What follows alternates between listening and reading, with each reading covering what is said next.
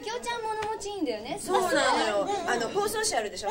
綺麗に畳んで袋いっぱいに畳んだの私ねあれさあのテープ剥がす時にこうじーダメなの私とりえ子は開ける時ビリビリ破っちゃうから。うわー全然原型を求めてないの。取っとけないじゃんあれ使えるんだよ。そうあとね。スーパーのビニールとかね。使えるよねあれねあれゴミにね。え。るんだよねでもさ君のドライヤーはどうかと思うよ私は。なんで？ドライヤーはどうかと思うよ。もうかれこれ5年かねうん使ってドライヤーさんの役目は十分に果たしてると思うよいやちょっと待ってしかもね聞きなさい。何でしかもね串のとこ割れてて使うと取れるでしょあれ。過去にスイッチも壊れて直しにも壊れてはい。直すぐらいなら買った方が安いと思うんですけど。確かに確かにね、ねあの5年前から使ってます。でもあれは私近所のディスカウントショップに行って1980円で買ったものなの音は十分やってると思うんだけどだってなんかあれだって今はもう接着剤でくっつけて髪の毛はちょっと入って痛いけど。